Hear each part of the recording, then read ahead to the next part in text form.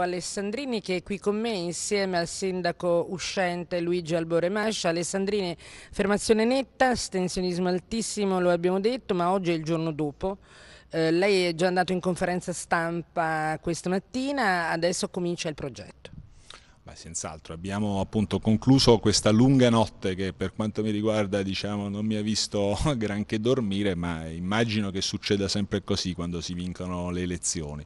Ne vale certamente la pena, abbiamo adesso naturalmente svolto una serie plurima di incontri con la stampa, ma da oggi pomeriggio si inizia il lavoro perché per questo siamo stati eletti, per rispondere ai bisogni, in qualche modo alle istanze, alle sollecitazioni che provengono dal nostro corpo elettorale, dalla città di Pescara. Eccole le immagini della conferenza stampa, ha detto si inizia il lavoro, cioè si parte da dove? Subito?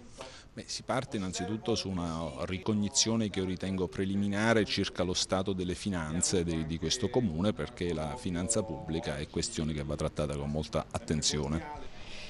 Luigi Albore Mascia, lo stato delle finanze di questo comune qual è? Lo stato delle finanze è quello certificato dai revisori dei conti e sulla sugli equilibri di bilancio e sulla necessità cronica che hanno tutti i comuni comunque di guardare alla cassa e di recuperare crediti di continuo e però eh, il bilancio è assolutamente certificato e quindi credo che Alessandrini non abbia nessun tipo. Siamo in rosso o siamo in pareggio, siamo inutile? Siamo in pareggio come, come, tutti i bilanci degli enti pubblici, non ci sono rossi, non ci sono utili, non è una società per azioni, è una società, è un bilancio di un ente sono pubblico. utili nel senso ci sono soldi in cassa? Ci sono soldi in cassa, ce ne sono altri da recuperare che derivano ovviamente dal sistema di imposizione tributario generale che riguarda tutti, tutti, i comuni, avrà da lavorare Alessandrini su questo e come è normale che sia per tutti i sindaci e credo per tutti coloro che si accingono a guidare un ente pubblico in tempi molto difficili come questi.